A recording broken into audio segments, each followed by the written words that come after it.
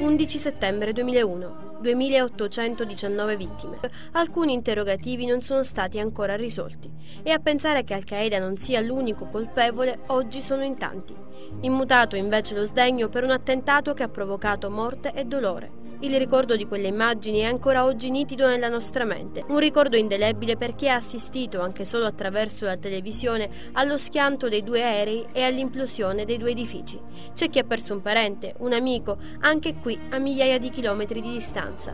Erano tanti, infatti, gli italo-americani che nei primi anni del Novecento hanno lasciato l'Italia e soprattutto la Sicilia per cercare fortuna in un altro continente. Poi il mondo ha voltato pagina, senza mai dimenticare chi ha perso la vita donandola per salvare quella degli altri. Vigili del fuoco, agenti e volontari, 369 eroi che non moriranno mai.